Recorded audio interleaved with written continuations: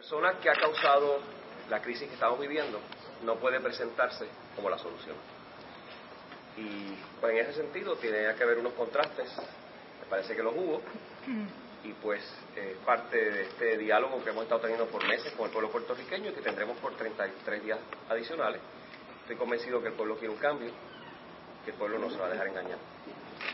Esta mañana el gobernador hizo unas expresiones en el sentido de un proyecto de que usted es parte, no sé si es Toa Baja, Alta, creo que es Toa Alta, eh, que tiene una multa de Mira, déjame aclarar esto completamente, aunque yo he hablado con la prensa anteriormente y mucha de esta información está en el internet, con muchísimo gusto.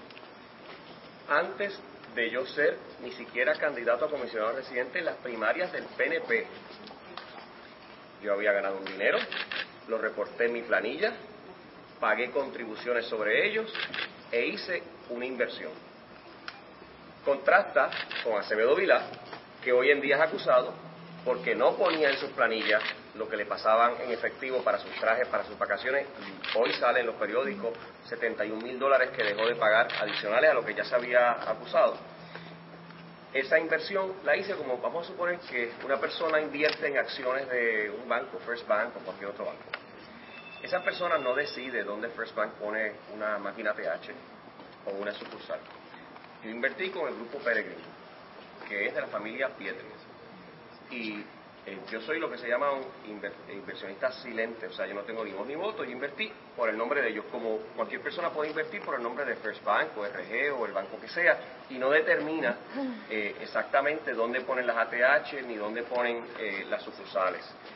Ahora, el contraste es con Acevedo Vilar. Acevedo Vilar está acusado por recibir dinero en cash, no ponerlo ni en sus planillas ni estatales ni federales, no pagar contribuciones y no ponerlo en sus informes nuevos que estaban en el Congreso, no ponerlo en sus informes de ética. ¿De dónde sacan ellos la información? De mis informes de ética congresionales que están en el Internet, de ahí que lo sacan, no lo sacan de ningún otro sitio. Ahora, vamos a estar bien claros, esto es una nube de humo que están levantando por el desastre económico en que nos han sumido, el desastre fiscal que a menos de tres meses de haber comenzado el año fiscal ya estaban cogiendo prestado para poder pagar la nómina. Y ahora, otra luz de humo con lo del IBU. Y yo quiero, porque no vamos a pedir que la gente de prensa nuestra les reparte a ustedes, que anoche les hable de una familia feliz. Una familia feliz porque dicen que con el IBU ganamos todos. Esto lo imprimimos hace dos días, El contraste es Acevedo Vilar recibiendo dinero mal habido, que no informa en sus planillas, que no paga contribuciones y que no pone los informes de ética.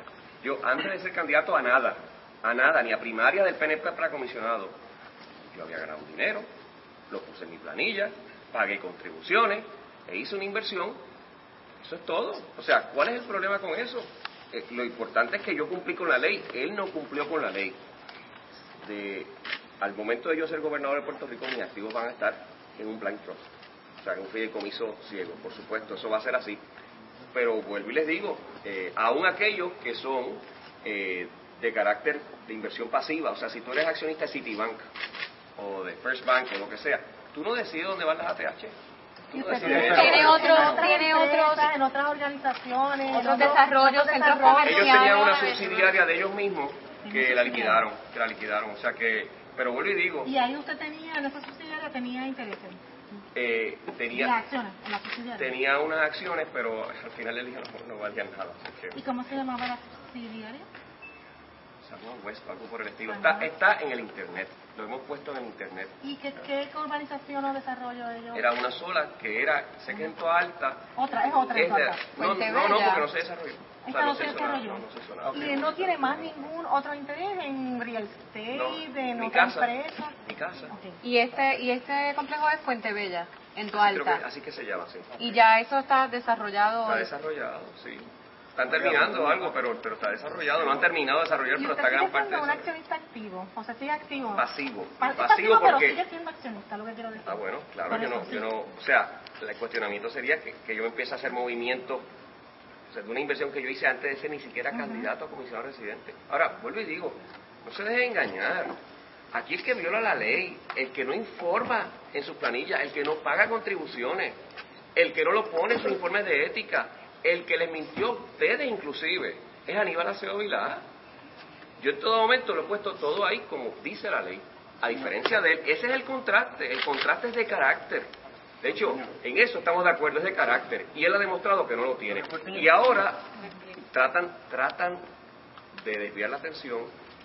Y cuando yo le saco la página de internet de su secretario de Hacienda, que es el que maneja la política contributiva, le digo, mira la familia que está feliz, que está aquí, con el hijo ganamos todo, la sacan para que ustedes no la encuentren, pero nosotros estamos dando copia porque habíamos eh, impreso esto hace 36 horas atrás.